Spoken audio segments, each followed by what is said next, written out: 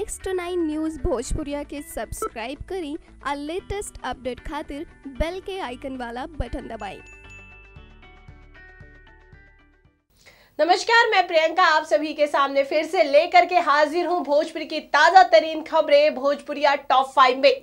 Bhojpuri top five में मैं आपको रूबरू करवाती हूँ। भोजपुरी इंडस्ट्री की वो तमाम ऐसी खबरें, भोजपुरी इंडस्ट्री की फ़िल्मों से जुड़ी हुई ऐसी खबरें, जो कि आपके फेवरेट सुपरस्टार हीरो हीरोइन के साथ जुड़ी हुई होती है और उनके सोशल एक्टिविटीज़ के साथ जुड़ी हुई होती है। तो चलिए शुरुआत करते हैं आज की खबरों की। सबसे पहले आज बात करने वाले हैं भोजपुरी के देसी हीरो खेसारी लाल यादव के बारे में। खेसारी लाल यादव की बहुत चर्चित फ़िल्म और उनके दिल के बेहद करीब जो फ़िल्म थी, जिला चंपारण, वो भोजपुरिया बॉक्स ऑफ़िस में सुपर डुपर हिट होने के बाद ये फ़िल्म सोशल मीडिया पे 26 जनवरी को रिलीज़ कर दी गई है।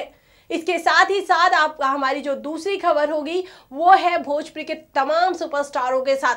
26 जनवरी यानी कि गणतंत्रता दिवस को काफ़ी धूमधाम तरीके से पूरे देश भर में मनाया गया। लेकिन किस तरह से जो हमारे भोजपुरी के भोजपुरी इंडस्ट्री के स्टार है, उन्होंने किस तरह से गणतंत्रता दिवस को सेलिब्रेट किया, किस तरह से अपने दर्शकों को बधाई दी, ये हम आपको इस रिपोर्ट में बताएँगे। इसके साथ ही साथ हमारी जो तीसरी खबर होगी, वो है भोजपुरी के जुबले स्टार दिनेश यादव निरहुआ से जुड़ी। जी हाँ निरहुआ का 26 जनवरी को स्टेज शो था जो कि काफ़ी धमाकेदार रहा मुंबई में।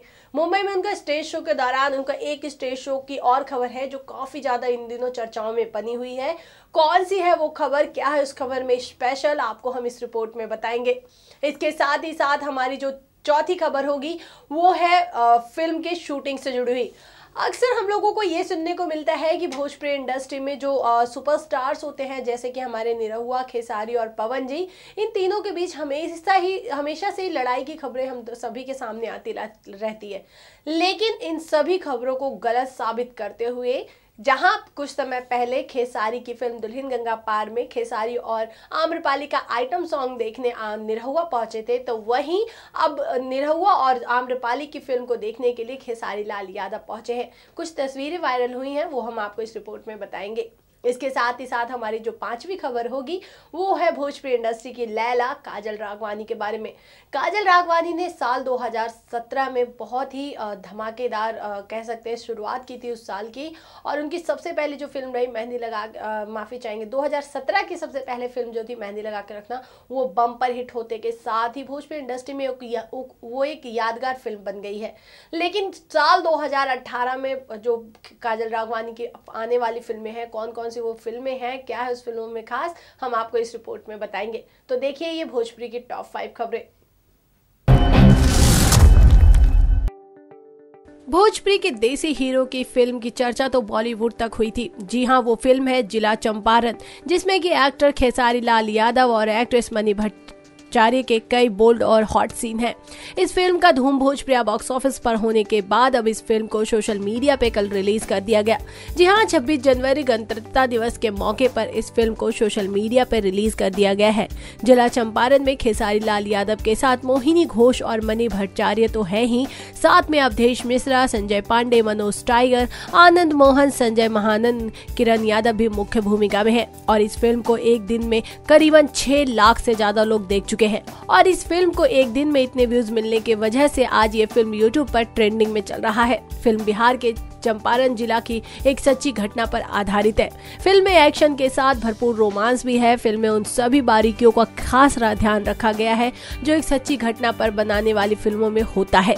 जिला चंपारण जैसी सच्ची घटना पर आधारित फ़िल्म में किरदार हु जीना आसान नहीं था, लेकिन ऐसा संभव हुआ।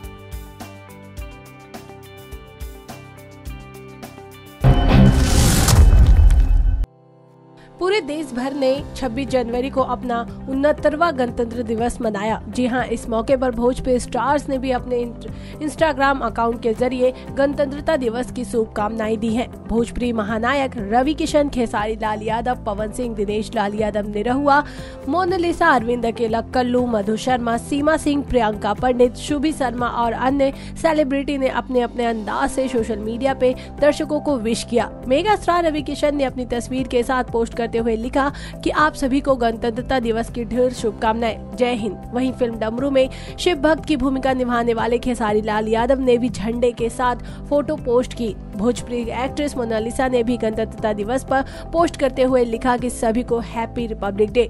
जय हिंद। वही मधु शर्मा ने भी भारत को मानचित्र के साथ सभी को हैप्पी रिपब्लिक डे कहा। इसके साथ ही भोजपुरी के और कुछ सेलिब्रिटी ने भी दर्शकों को विश किया। इस मौके पर राजपथ पर देश के सैन्य तैनात के साथ साथ देश की संस्कृति और विकास की झलक भी देखने को मिलेगी। इस साल गणतंत्र दिवस परेड में 10 आसियान देशों के राष्ट्रीय अध्यक्ष ने हिस्सा लिया था।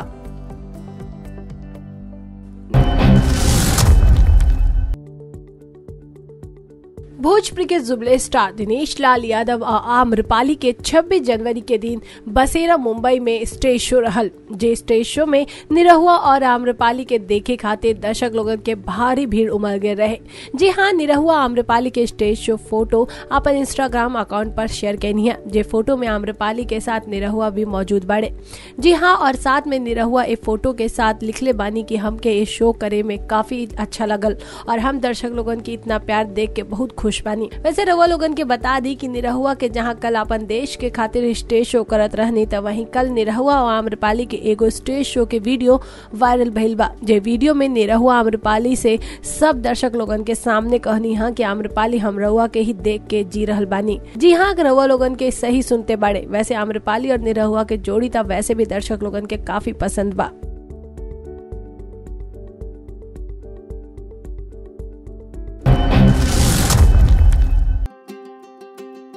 वैसे तो ये बात सबके पता ही हा कि निरहुआ और खेसारी के दोस्ती काफ़ी अच्छा है। खेसारी कई बार अपन इंटरव्यू में कहनी है कि निरहुआ के वो अपन बड़ भाई मानत बनी।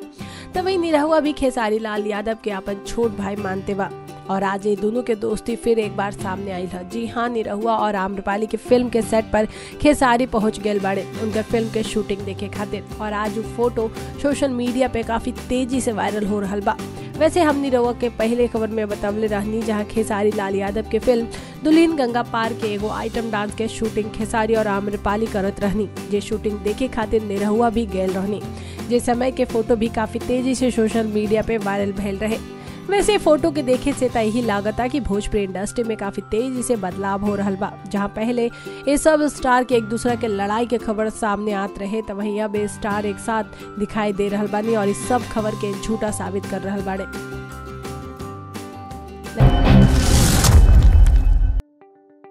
काजल रागवानी अब किसी परिचय की मोहताज नहीं है। वो भोजपुरी में एक अच्छी हीरोइनों में से एक है। उन्होंने अब तक दो दर्जन से ज़्यादा फ़िल्मों में भोजपुरी के स्टार एक्ट्रेस के साथ काम कर चुके हैं, जिसमें पवन सिंह, खेसारी लाल यादव मुख्य हैं। 2017 में उनकी कई फ़िल्में रिलीज़ हुई, जिसमें मेहंदी लगा के रखना एक नया कीर्तिमान स्थापित किया है और कई उनकी फ़िल्में साल 2017 में हिट रही, जिनमें से मैं सहरा बाँध के आऊँगा, सरकार राज और मुकद्दर आदि मुख्य है। अब हम आपको बताते हैं कि साल 2018 में उनकी आने वाली प्रमुख फ़िल्में कौन कौन सी है जिसकी शूटिंग हो रही है या हो चुकी है और या फिर कहें कि उनका मुहूर्त भी हुआ है।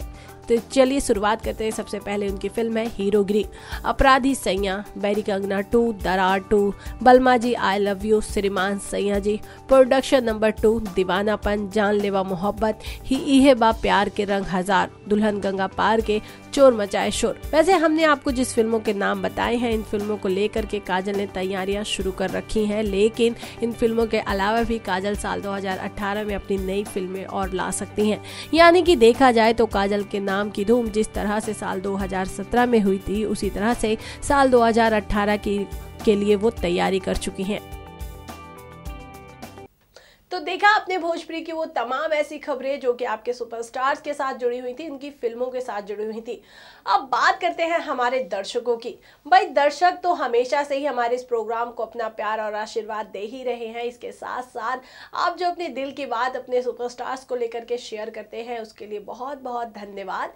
इसके साथ ही साथ मैं आपको एक छोटी सी जानकारी और देना चाहूँगी कि अगर जो आपको आपके सुपरस्टार से के बारे में उनके जीवन से जुड़ी कोई जानकारी लेनी हो, वो भी आप हमारे इस रिपोर्ट में पूछ सकते हैं और हम कोशिश करेंगे कि हम अब तमाम खबरें हम आप तक पहुँचा सकें। इसके अलावा आप जो क्वेश्चन पूछते हैं, जो सवाल पूछते हैं, उसकी जानकारी भी हम आप तक पहुँचा सके। बाकी के जो हमारे इस प्रोग्राम में अगर जो आपको कोई भी जानकारी लेनी हो, वो भी आप इस प्रोग्राम में कमेंट बॉक्स के ज़रिए पूछिएगा। और आपको हमारा ये प्रोग्राम कैसा लगा या कैसा लग रहा है, वो बिल्कुल कमेंट बॉक्स में लिखना बिल्कुल ज़रूरी है। आप उसे लिखना बिल्कुल मत भूलिएगा। ठीक है, भोजपुरी और भोजपुरी के टॉप फाइव खबरों में इतना ही। मैं आपके सामने नए, फिर से हाजिर होंगी भोजपुरी के टॉप फाइव खबरों के साथ।